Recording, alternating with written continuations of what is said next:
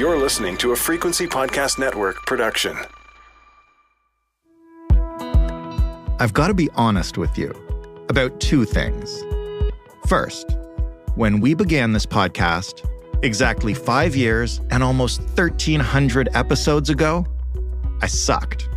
I am amazed that they let me host it beyond the first few weeks. Which brings us to the second thing. I didn't think we'd last very long.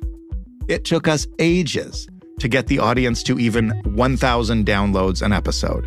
It took us forever to make the show every day. And while everyone was very supportive and very helpful, it didn't really feel promising.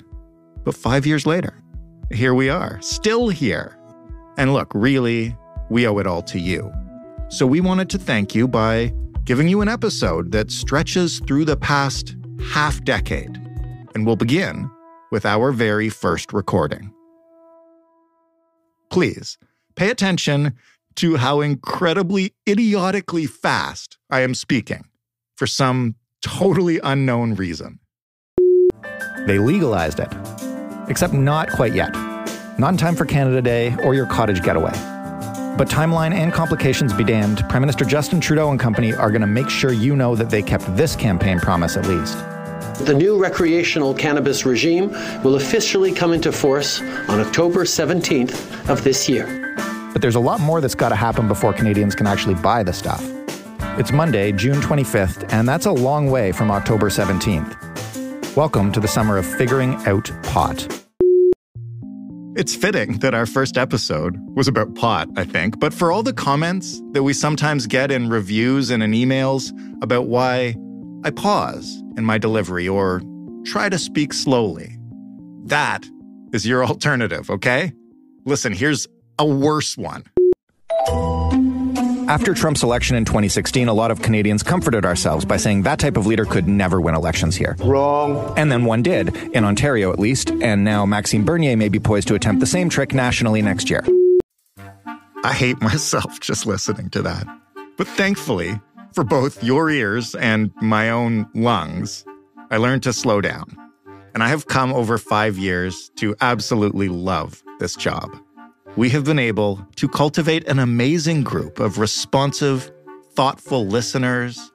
We've been able to cover the news in a way that doesn't depend on clickbait headlines or hot takes to rile up an audience the way so much of digital media does. And we've been able to provide companionship and conversation to thousands of Canadians when they wake up every morning. And we also get to learn stuff a lot of stuff. Some of it good and hopeful and fascinating, most of it fascinating, actually, but also strange and odd and, you know, frequently downright scary.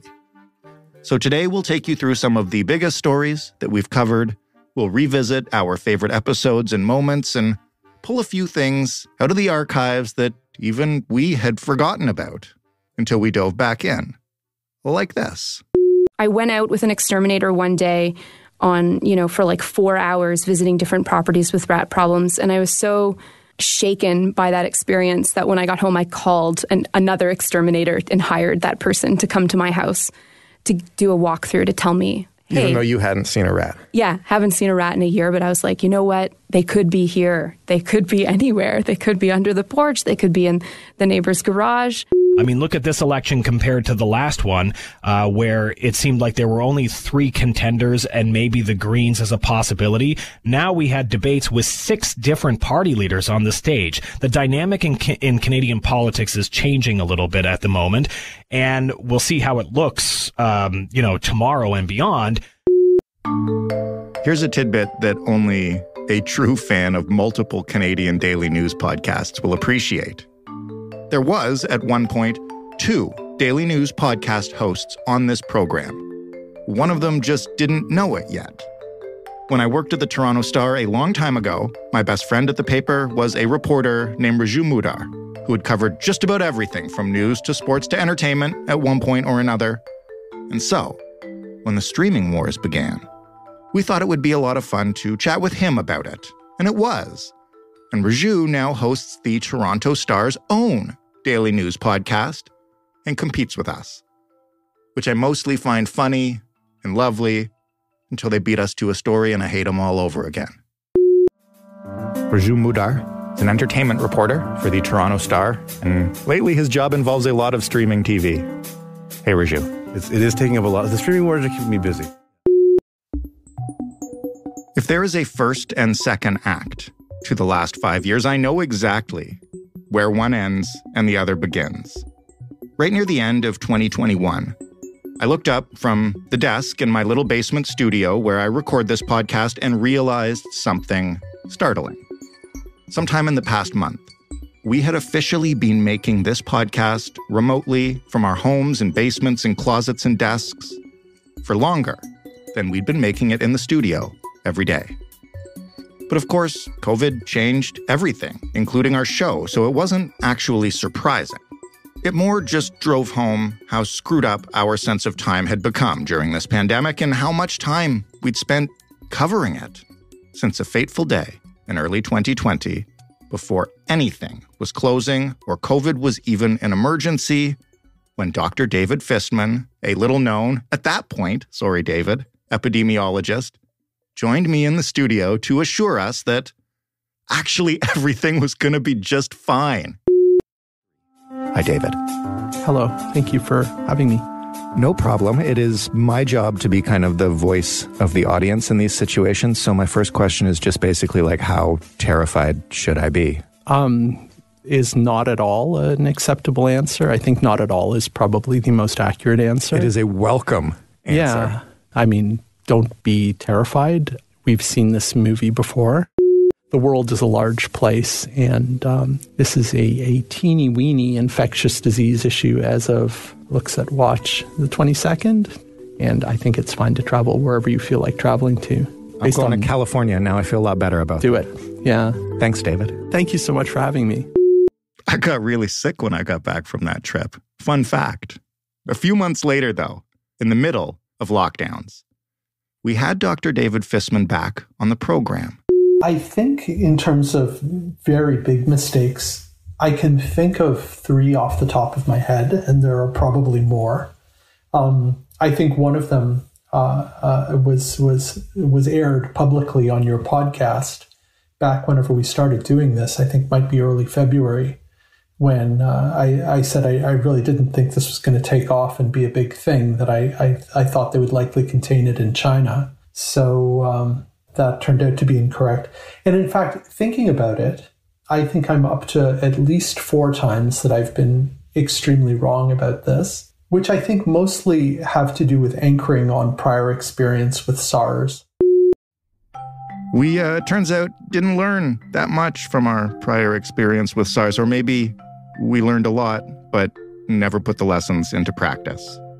Anyway, I won't dwell on COVID. That's not why you're here right now, but all those clips do is remind me of lockdown and how we figured out as a small team that makes this podcast how exactly we were going to do our work, how the world was going to go on, what our life would look like for either the next two weeks or the next two months, or I guess what turned out to be two years.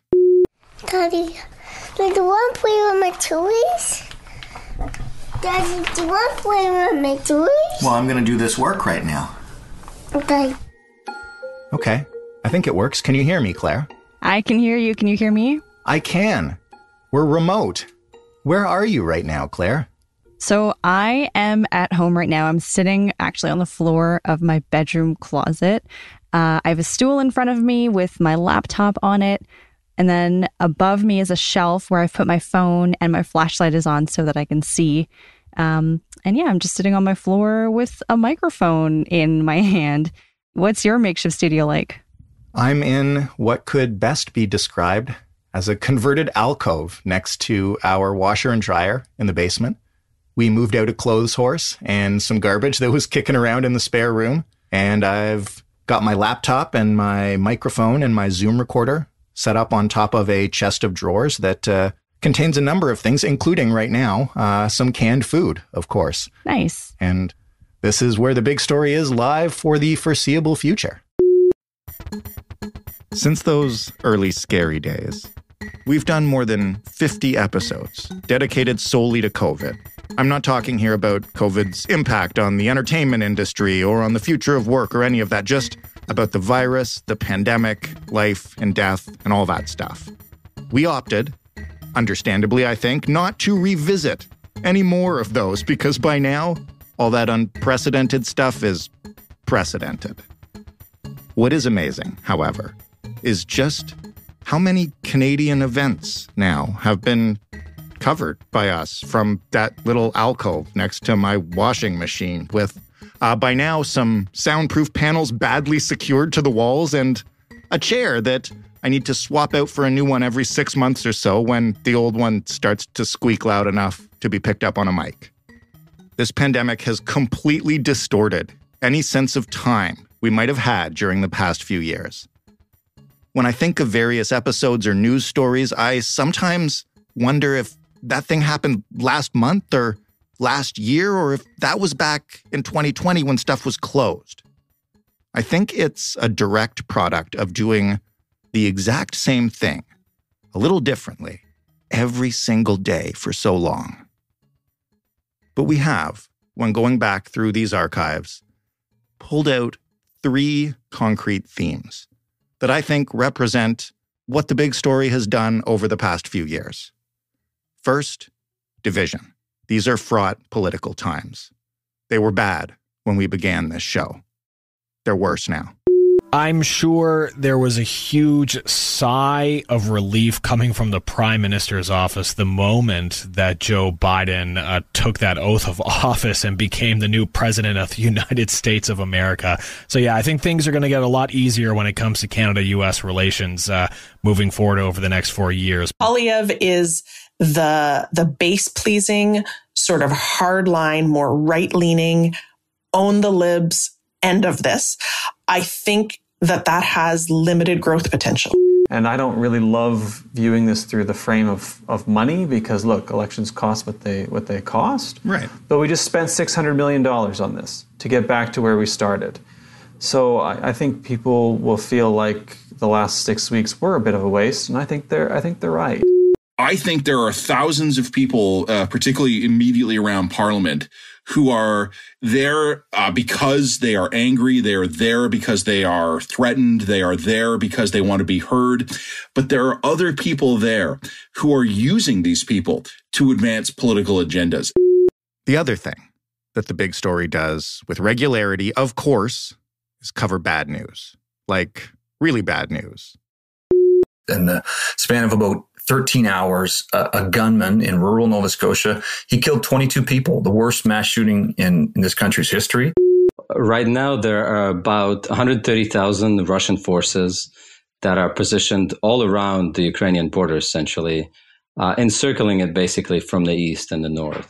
I'm looking at you, but I can see the van going on the sidewalk and hitting everyone seen a lot of wildfires in the province in the last week or so. The most notable one is the one that has pretty much destroyed most of Lytton, uh, which is a smaller village here in BC. And this fire broke out a day after the village set the record for the hottest day ever recorded in Canada. See, good times. But listen the last, and in my mind, the best kind of episodes we do are the ones that are most true to the ethos of this show. When a curious person talks to a smart person about a story or an event you might want to know more about. And when we go down that road, things aren't always bad. They are weird and fun and mysterious, sometimes even joyful. Last week, a reporter with CHCH TV caught the right person at the right time in front of the right St. Catharines store to discuss Health Canada's new alcohol guidelines. Two drinks a week? What do you think of that? Well, that's just not uh, feasible, not in this country. Well, come on, man. Two drinks a week. What's that going to do for you? I mean, that doesn't even get you through a day in this fellow's yard, uh, the or this person's yard, the the trapper set up a large scale peacock trap and trapped Pearl and her chicks within it. And those birds were then moved to a petting zoo. So I could see the ends, the end coins on each one of those rolls. And just from a quick glance, I knew that each one of those rolls were counterfeit. So I, of course, checked one of the rolls just to see if it was just the end coins that I was unlucky enough to see, or if it was the whole thing. And turns out that the entire box was counterfeit, thousand dollars of counterfeit toonies. One theory is that the current cycle of UFO news and madness is just a way to distract from, you know, something else that's happening, perhaps an advanced propulsion system. That will not be the last time you hear about UFOs or aliens, or maybe even peacocks, from us. And that was the big story, five years of it, in fact. As I said off the top, this is all thanks to you, our listeners. And I mean that in a very direct way. Because unlike television or radio, this podcast is never just on. It's not like somebody gave us a time slot or put us on the air and exposed us to an audience and some people listen just because we're there and they're bored. That doesn't happen. Everyone who has ever listened to the big story did it on purpose, deliberately. They made a choice and they chose us, even if they only did it once and then never again. But without that choice, that's the whole ballgame. So, from all of us here, Joe Fish and Robin Simon, who produced this show, Stephanie Phillips, our former lead producer, who is now our showrunner, Mary Jubrin, who makes sure this podcast actually gets to your ears every morning, among many other things they do, Ryan Clark and the entire sound design team, and Diana Kay, who makes sure there are ads on this podcast so that we don't go broke, even if you don't love them. From all of us. Again, thank you. Tomorrow, we'll be back to telling you interesting stories about things that matter to Canadian life, hopefully for another five years. Today, I just want to sign off by saying, well, I will let me from five years ago say it, and it's proof that at least some things on this podcast haven't changed at all. Thanks for listening. We'll talk to you tomorrow.